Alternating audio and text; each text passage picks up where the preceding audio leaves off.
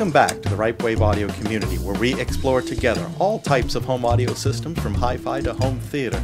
My name is John, and for this video, we are providing introductory details of the recently announced new McIntosh AV processors, how they fit within the existing McIntosh lineup, and relate to similar products from Lyngdorf and Marantz.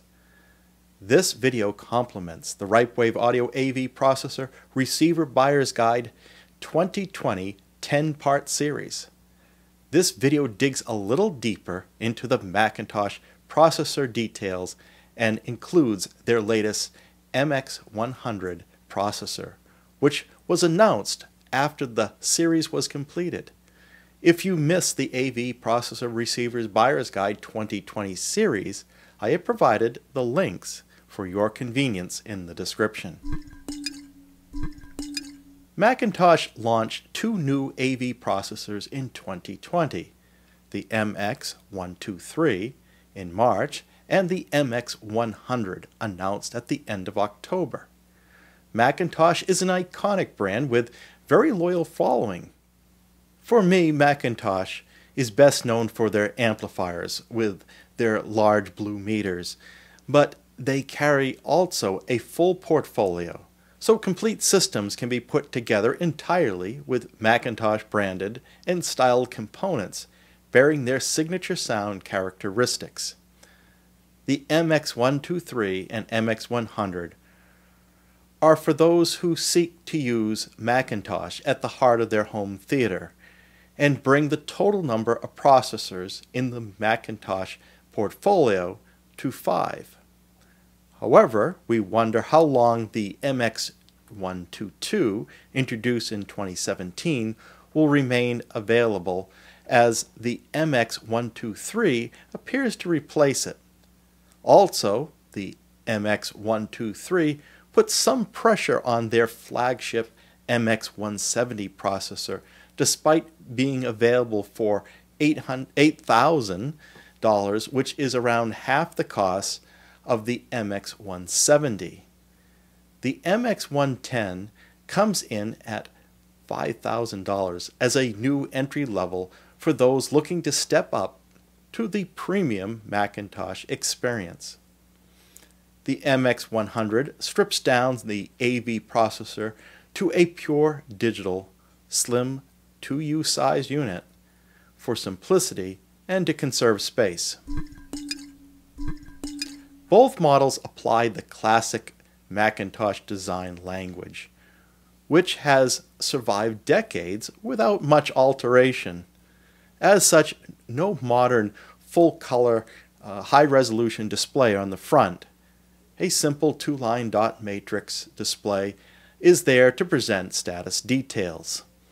Around back, the look is clean and organized. While the MX123 provides flexibility to support a wide range of signals, the MX100 is a simple HDMI or SPDIF uh, input with the XLR balanced as the only pre-outs. The new MX123 is similar, and I have read reports that it is likely to have derived from the Marantz AV8805. Now we will see later on how I.O. counts closely align along with the use of Audyssey room correction, the uh, AKM uh, DACs, uh, common remote design, and a user interface that differs mostly by branding. A peek under the hood reveals that the similarities include some shared circuit board designs, with that said, there are also some noticeable differences, including the power supply and the fact that McIntosh MX123 is more focused and less of a Swiss Army knife in the feature set department than the AV8805. Those that have auditioned both have noted that the MX123 has a clear sonic advantage over the AV 8805, suggesting that McIntosh has followed through with a more premium execution despite using shared ingredients. The RipeWave Audio take on why brands with capable R&D facilities may choose to outsource components and in some cases rebadge full duplicates of AV processors is because software development is much different than hardware development. We often see highly acclaimed speaker and amplifier companies struggle to incorporate software such as wireless and mobile apps as they try to produce more lifestyle oriented products. How often have we seen strong players in the market release buggy processors and receivers that frustrate the early adopters?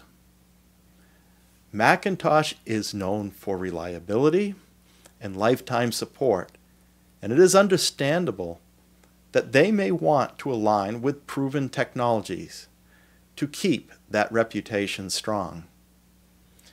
Another example of McIntosh pairing with proven technology is with their use of the Lyngdorf Room Perfect uh, room correction software on the MX170 and MX160 models. However, we see evidence that Lyngdorf has influenced these models in other ways as well. Similar remotes and the ESS DEX uh, and the power switch that has a distinctive red highlight around it, uh, which I haven't seen elsewhere. The web-based setup menus are clearly the same as well. As long as the quality, sound signatures, and support live up to buyers' expectations for McIntosh, the source of components and software should not be a concern. It does, however, point to alternative brands if the consumer is looking for lower cost options. As noted earlier, the MX170 launched in 2019 for $15,500 and is the flagship of the McIntosh AV processor range. The MX170 supports the most channels of processing at 16 channels and supports 9.1.6 speaker layouts. The MX160 is the oldest model in the lineup and dates back five years to 2015. The MX160 provides a lower cost 12 channel option for those who are not going to leverage the 16 channels of the MX170. The MX123 is the first new model of 2020. While the MX123 sits between the MX170 and MX160 channel-wise, it does so at a lower tier in performance, which explains why the MX123 is almost $2,000 less than the MX160 at $8,000.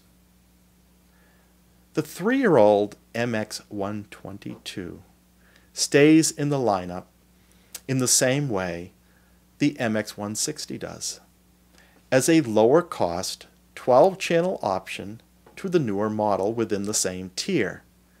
In this case, the MX122 comes in $1,000 under the MX123 cost at $7,000. The latest entry, the MX100, introduces a new tier of entry into McIntosh AV processors with a selling price of $5,000.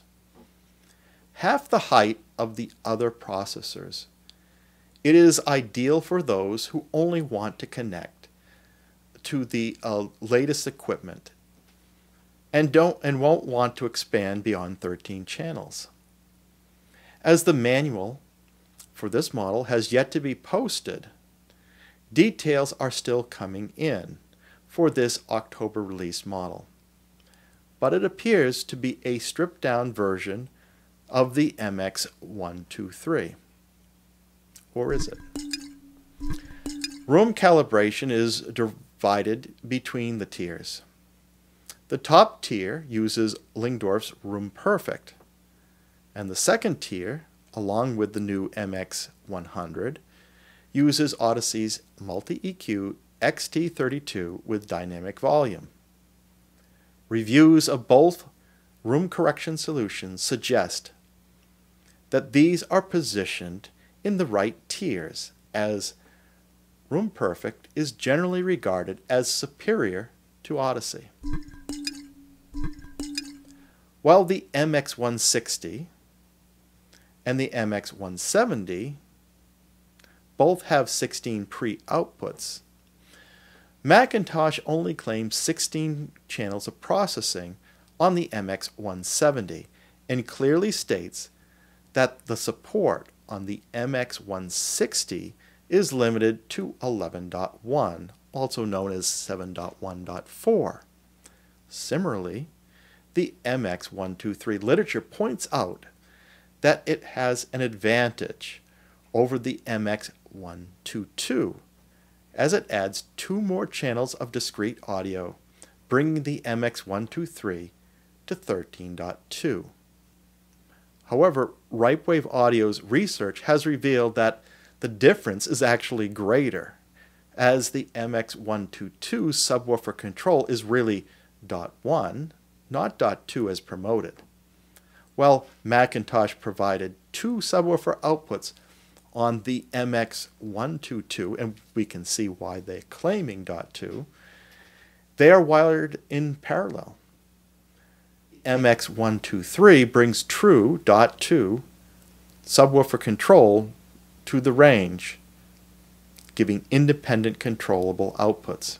The MX123 and MX122 both provide legacy support for component and composite videos, not found on the other models, along with two output zones versus one on the MX 170 and MX160.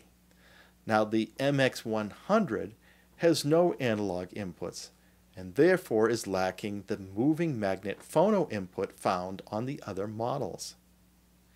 If your amps don't have balanced XLR inputs, you will need an adapter cable to pair those amplifiers with the MX100. Looking at the audio processing more carefully, we see that all models support Dolby Atmos and DTS:X decoding, with speaker configurations ranging from 7.1.4 to 9.1.6. As with most premium brands, Auro-3D is supported on the MX122 through MX170 models with either 10.1 or 11.1 setups being supported. The MX123 stands apart as the only model currently advertising DTS:X Pro and IMAX Enhanced support. So far, there is no evidence of the MX100 supporting IMAX Enhanced or Auro-3D. With only 12 channels, the MX100 does not require DTS:X Pro support. Note that this table, along with the others moving forward, um, we have included data for the similar Lyngdorf MP60 and Marantz AV8805 models for your own comparison.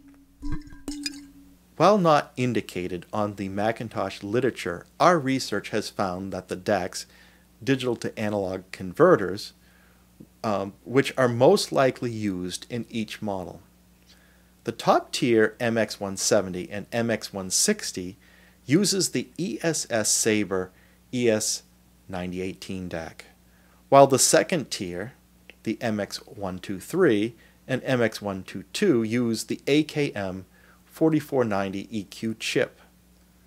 So far, there is no data available for the DAC used on the MX100, but we suspect it will match that of the MX123 with the use of the AKM 4490 EQ chip. Interestingly, the chips match those in the corresponding Lyngdorf and Marantz models. We want to point out that the ESS and AKM chips are more capable than implemented into these products. While both chips support 32-bit 768 kHz PCM and DSD256, the McIntosh processor datasheets report only 192 kHz 24-bit uh, playback and DSD 128 or lower when that specification is included in the literature, and it's not included for each model. Nevertheless, the general specification of the ESS Sabre outperforms the AKM chip and aligns with the two product tiers as expected. McIntosh has yet to produce a model with support for HDMI 2.1. With all models supporting the baseline HDMI 2.0 standard, Dolby Vision 444 subsampling, HDR10, hybrid log gamma HDL support, and provides uh, and is providing this consistently across the range. Lyngdorf recently added HDMI 2.1 support to their MP60, so we wonder if McIntosh will add support for HDMI 2.1 in the near future uh, to at least the MX170. For connectivity, each model provides a wired Ethernet port, with Wi-Fi and Bluetooth being limited to the MX123 and MX122. So far, the MX100 shows no support for wireless, which we find odd for a new processor positioned for simplicity. Perhaps the MX100 is derived uh, from the MX170 and not the MX123 as suspected. With wireless support, the MX123 and MX122 support Apple AirPlay, and the MX123 also supports AirPlay 2. Unless McIntosh is keeping it a secret, no unit seems to support the same level of streaming services as Lyngdorf or Marantz. Trigger outputs exist on each model, but which control IP or serial protocols are supported isn't always identified. The MX123 and MX122 uh, data sheets do list, uh, or web page, do list Control 4 and Crestron with confirmed compatibility. McIntosh has most of the setup process handled through a web page. The Audyssey configuration may still be an on-screen display if the manual is correct. It just seems a little odd that they would split configuration functions across two separate interfaces, but this may be a limitation of Audyssey. Where McIntosh is behind the times is support for mobile apps, as no resource today is reporting this capability. We even checked the iOS App Store and could not find a McIntosh app for any of their processors, only uh, those for the RS200 loudspeaker, updates, phone-based music streaming, and the MB100 media bridge. In conclusion, the McIntosh line of processors is designed to provide the premium McIntosh experience to home theater installations.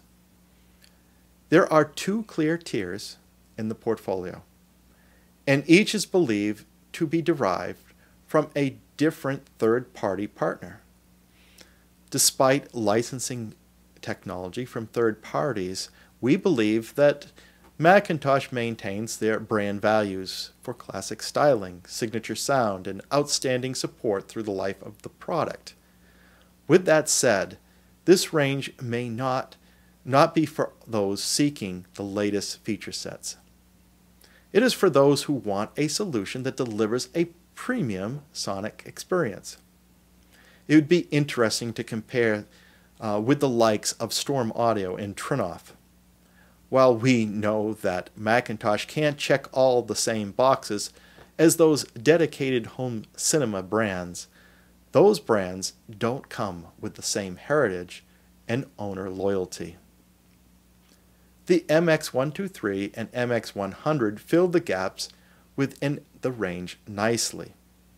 The arrival of the MX123 creates uh, an interesting situation as it comes close to or surpasses the feature sets available in the flagship MX170, but likely does not match the MX170 in its performance, including the room perfect correction software, making it difficult for buyers to choose a path.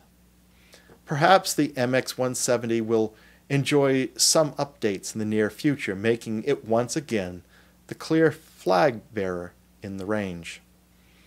The MX100, we believe, will do well as many modern enthusiasts are seeking simplicity and compactness, but want to say they have a setup that is more than just a mere soundbar. We would also like to see McIntosh deliver mobile applications, and outsourcing of these would be perfectly fine as long as McIntosh sets the design criteria to their standards it will be interesting to see how well this video on the new McIntosh processor models and the McIntosh range does in comparison to the RipeWave video on the new Anthem processor uh, range. The MX100 was announced the same week as the new Anthem line, but has received um, almost no YouTube activity, while Anthem discussions are very active, um, yet overlap uh, in price points uh, to the same degree, albeit uh, at a higher cost per channel for McIntosh. If you are considering one of these new McIntosh models, we would appreciate hearing your feedback. Uh, please include in the comments section, are you loyal to McIntosh or do you prefer Storm Audio and Trinnov? Are you married to the McIntosh styling? Or is Lyngdorf fit better for you? Are you seeking the McIntosh sound signature? Would you rather save several thousand dollars and opt for a Marantz model? That feedback would be useful to the RipeWave community. Furthermore, if you enjoyed this video, and are interested in enhancing your audio experience, please like and subscribe to this RipeWave audio community and be sure to select the bell icon so you'll be notified as soon as the next video is posted. And for all the subscribers and all that are listening, whether you're in the United States or anywhere else in the world, we are thinking of you during this Thanksgiving season and we're very thankful for your, you listening to this channel and being a participant in this community. It's so wonderful that we can reach out and work together. Until we meet again, keep evolving your audio experience.